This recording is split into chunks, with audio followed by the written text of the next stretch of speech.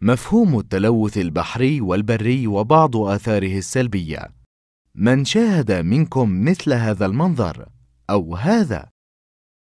عندما تتعرض الأرض أو مواردها إلى أي مواد يمكن أن تفسدها وتؤثر على مظاهر الحياة فيها لكل من الإنسان أو النبات أو الحيوان ويضر بها نصل إلى حالة تسمى التلوث ويقال عن المورد أنه ملوث إذا كان غير نظيف ويتسبب في أضرار ومشاكل صحية للإنسان والكائنات الحية.